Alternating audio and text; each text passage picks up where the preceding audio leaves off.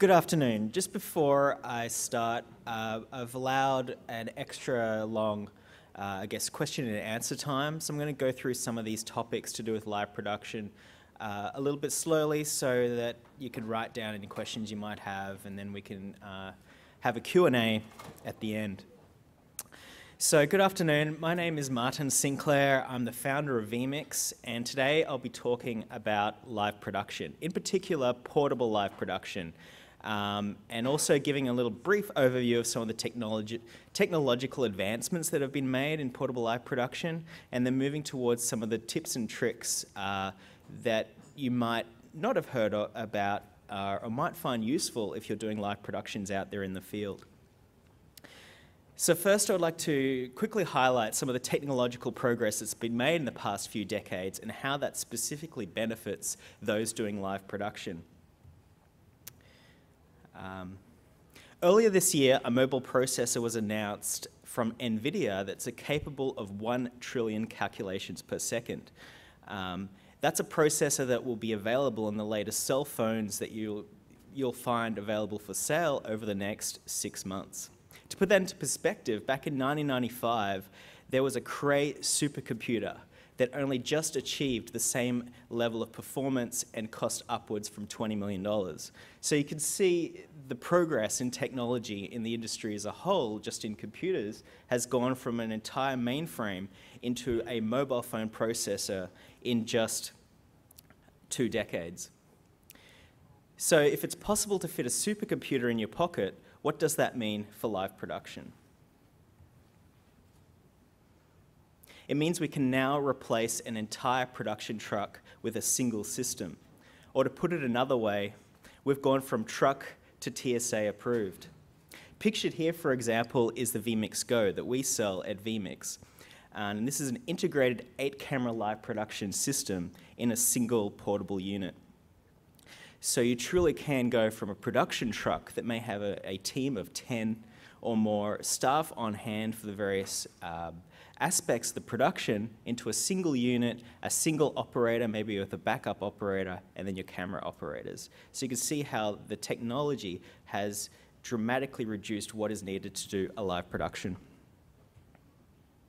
So to facilitate this, there has been a, a, a lot more all-in-one solutions in the live production market. Traditionally, even with all this technological process with streaming and live production, you still needed to provide a couple of devices and combine them together. You may need a switcher, you may need an audio mixer, um, and then you may need an encoder to put that on the internet. Well, that's all changed pretty much in just the last few years. Now you can, you can purchase a single system that combines switcher, video player, recorder, streaming encoder, title generator, and audio mixer within a single unit that you can carry around with you. For example, we have the vMix Thunder. That's a laptop-based solution that allows any laptop with Thunderbolt uh, to be turned into a complete four-camera live production system. And as I mentioned before, there's also the vMix Go. Um, but in general, the industry is moving towards a integrated system that can combine all of these hardware solutions that you may have previously purchased to do a live production into a single solution. And I want to provide a case study of how this live production solutions have been used in the real world. And the biggest case study uh, that I want to bring to you today is about the NAB show. Um, each year, the NAB show reaches, you know, anywhere upwards of 80,000 um, attendees, and there are a variety of live shows going on throughout the week. As the NAB show specializes in broadcast and production, there are a lot of opportunities there for live streaming productions, and in particular, Teradek have taken the initiative since 2012 of producing a live show that's broadcast through Ustream which reaches up to 500,000 viewers. So they produce this content of interviews, reviews, educational content, covering the entire spectrum of the broadcasting industry. So they may have guests on there from Canon or Sony talking about their latest cameras. They may have other uh, companies talking about drones and how you can use them in video production. So there's a whole diverse array of different topics, and they run, the, their requirements were to run this production four days, um, up to nine hours a day non-stop live streaming, uh, very few breaks, continuous coverage. The system that they required needed to be portable because they didn't necessarily have a lot of booth space available, and it also needed to be reliable.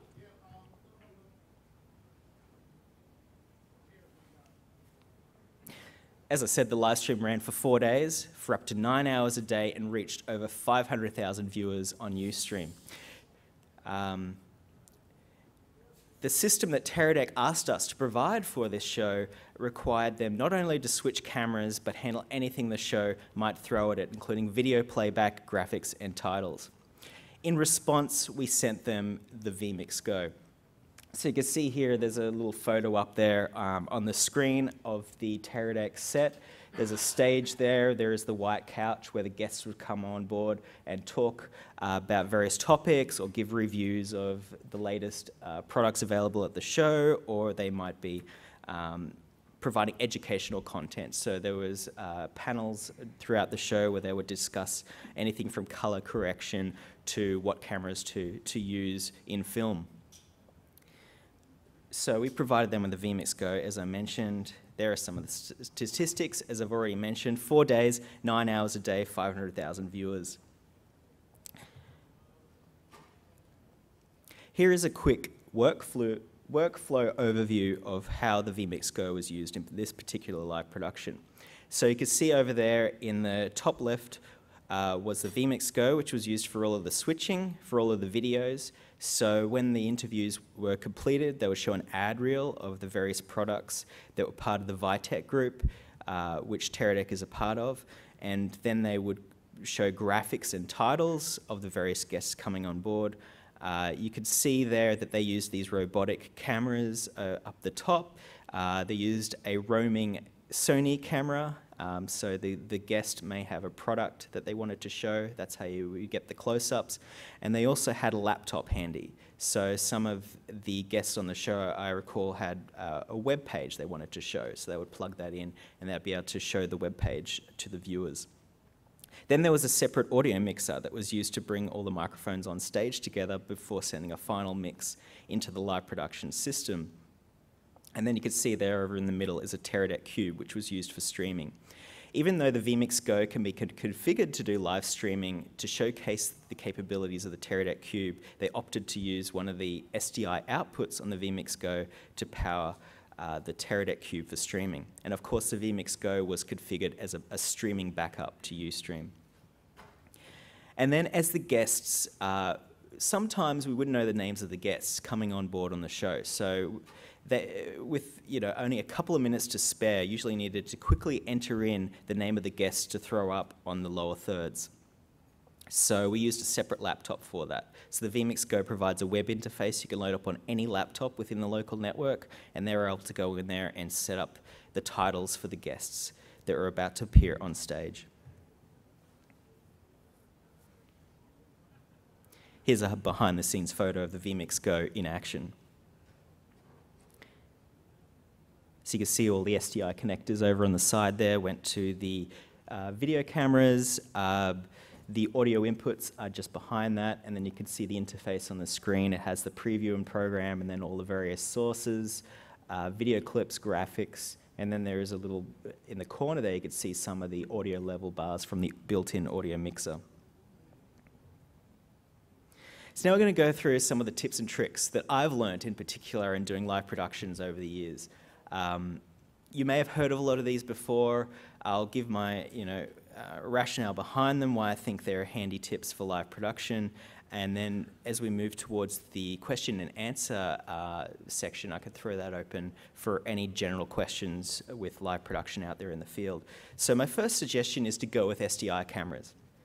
Now you can get a lot of affordable HDMI cameras these days for live production but they tend to be a bit difficult to use with regards to the cabling. So if you're at a, you don't know necessarily what a venue is going to be like, where the camera is going to be um, in respect to the switcher, you need to make sure that the cable cabling solution is flexible enough to handle those long distances. And SDI is really designed for that. You can run up to 100 feet of cables. You can get slimline SDI cables, so they're easy to uh, move around corners.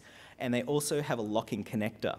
So anybody who's had experience with the mini HDMI ports available on video cameras these days will know how much of a pain in the neck that can be. Um, and of course, as I mentioned, the SDI cables can get slimline thin ones now that do full HD um, and are great for traveling since they're lightweight. That's what I personally use when I'm setting up cameras um, at various trade shows. In addition to going with SDI cameras, if you're at the stage at the moment where you're planning to build your own live production uh, solution from scratch and you haven't yet bought the cameras, I would highly recommend looking at all the cameras out there and choosing one particular camera model for your entire setup. So four cameras of the exact same brand and model. The reason for that is to do with color correction and white balance. Every camera is a little bit different. So if you choose the same model, you won't have to spend time matching them in software or in the switcher or in the color correction in the cameras, they will all be equally matched by choosing the same color balance and white balance settings in camera. And that's a huge time saver.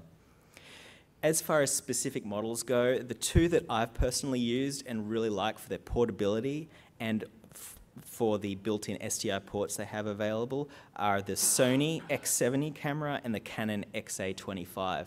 They're both really nice compact cameras um, but they also have the full professional feature set, including SDI, and they can both could be found for under $3,000. They're great value as well. The second one might be obvious to many of you live production veterans out there, but keep an inventory checklist. I found this especially important uh, for all the various little cables and adapters I might be using in a live production, just to keep track of what I've packed for a particular show and then when I've unpacked it back at the office, I can make sure everything is still there and chase up the venue if something went missing. Um, and along those similar lines, marking equipment with coloured tape is also very helpful. In particular, for the NAB live show at Teradek, there were three sets of crews with each with very similar equipment, all working within the same area. For example, there was us from vMix with our equipment. There was also Teradek with all of their equipment. They were uh, pulling out SDI feeds. They had cables and equipment and adapters as well. And there was also the live production crew, the guys that were doing the live switching. They had their own audio mixer. Uh, monitors, cables, cameras, and so on. So with all of this stuff getting jumbled up, it was very easy for us to mix up our equipment, but thankfully um, uh, each of our teams had color-coded equipment, so it was very easy at the end of the show after four days to quickly pack everything up. One thing is very important from a quality perspective, and this is request graphics and videos from your clients ahead of time. The main reason for this is if they give you a low quality MP4, well, hey, you've got the extra chance there to request a higher quality MP4. Uh, perhaps they gave you a 720, but you want to do a 1080 production for archival purposes. You could go back to them and request those HD video clips or higher resolution graphics so that the final production you, you hand over to the customer is at a lot higher quality uh, thanks to that forward planning.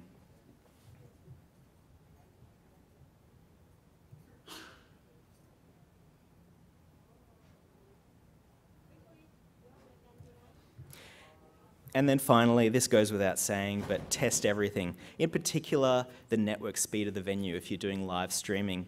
I've been in situations where the venue the previous week has been able to do 8 megabit for streaming, and so we would probably set somewhere between a 5 or 6 megabit stream to allow that headroom uh, when streaming at full HD. But then the next week, it, for whatever reason, with the network provider, it dropped down to 5. So continually testing the network ensures that you can pick and choose the, the best bit rate for the stream ahead of time. And also um, pay careful attention to choose a stream bitrate that is a, leave a plenty of headroom that's a bit lower than the maximum network speed available. So you may be able to send out a high quality HD stream if you're going really close, close to the network speeds available, but you might find that things change throughout the show, that there's a bit more buffering from the end viewer. End viewers in general, um, if, if based on the statistics and talking to them out in the field, they much prefer a lower quality but stable and reliable stream far more than a high quality full HD stream that may be buffering every few minutes.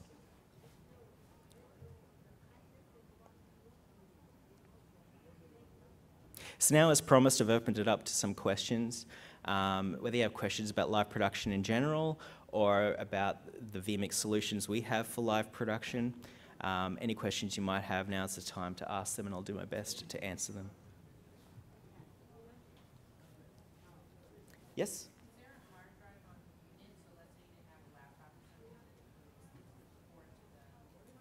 Yes, so good question. With the vMix Go, um, this is an integrated PC that's been custom designed to do live production. So it has built-in hard drive, it has a full copy of Windows installed, so you could install your you could even conceivably install your video editing software on that system and the files are ready to go, ready to edit uh, once the show is complete. So yeah, there's built-in hard drive storage. In particular with our vMix Go, uh, there's four drive bays, so you can install plug-and-play storage. If you say you're doing two different shows in one day, you could just bring in two hard drives with you in the bag and swap them out between each production.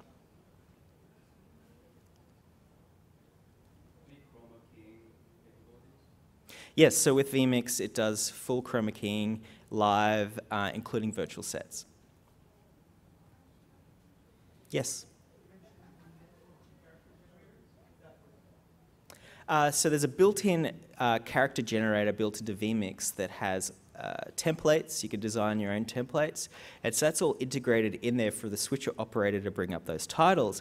But you can also, once you've set them up in the switcher workflow, you can log into a web page. So the switcher actually creates a website for anybody in the local network to log into, and that web page gives them the ability to switch cameras if they need to be remotely, or they could go in there and select the titles and add various title presets for all the various speakers that are coming up. Yes, so as it's a web page, you can load it up on your phone, tablet, laptop, um, any, any Wi-Fi enabled device with a browser can work. Yes?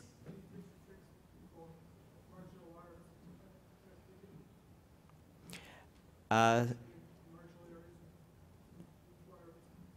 yeah, so uh, if you have limited uh, network access and you want to do live streaming, what I would recommend is the various uh, bonded solutions out there.